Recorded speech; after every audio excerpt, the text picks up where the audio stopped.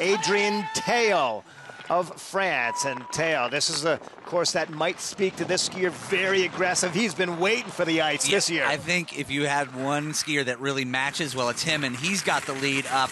What I saw in training the last two days with Theaux and a lot of the French guys is they were cruising the bottom. They weren't looking for speed in their tuck. They were just kind of, you know, checking it out. So he did his work at the top. Now he needs to look for the tuck. There he is in that aerodynamic position, which I hadn't seen him all week.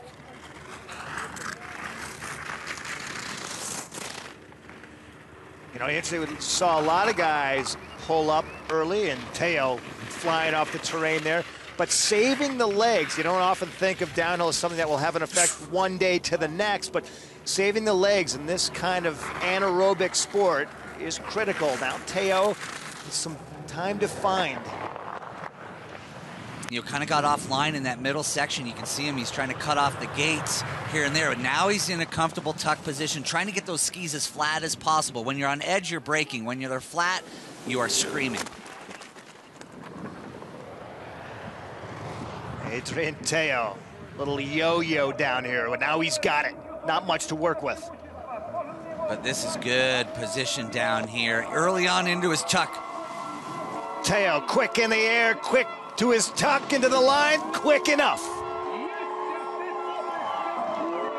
It's been a long time since I've seen that happen, where one skier after another comes down with the lead. And that's going to happen on a new course because they're always trying to save a little for race day. And when you do that, boy, you bring out some special moments. And Theaux on the bottom rocked it.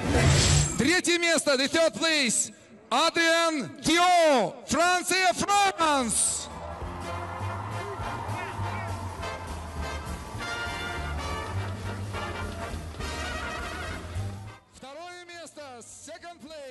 Benjamin.